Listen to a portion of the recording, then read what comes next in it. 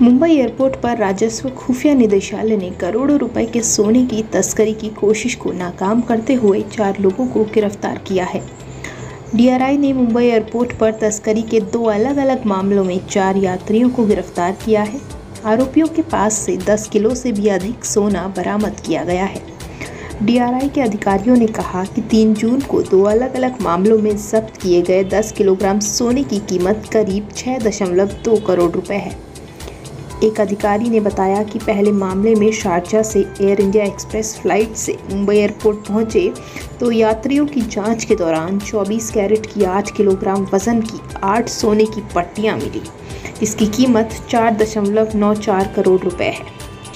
अधिकारियों ने कहा कि आगे की खुफिया जानकारी पर तेज़ी से कार्रवाई करते हुए यात्रियों के एक और सहयोगी को पकड़ा गया है इसके दौरान आठ किलोग्राम सोना बरामद किया गया है, जिसकी कीमत चार दशमलव नौ चार करोड़ रुपए है।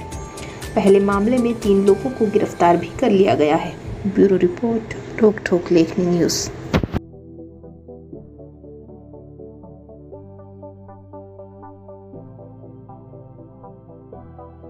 देश और दुनिया से जुड़ी तमाम बड़ी खबरों के लिए हमारे चैनल को लाइक करें, शेयर करें और सब्सक्राइब करें।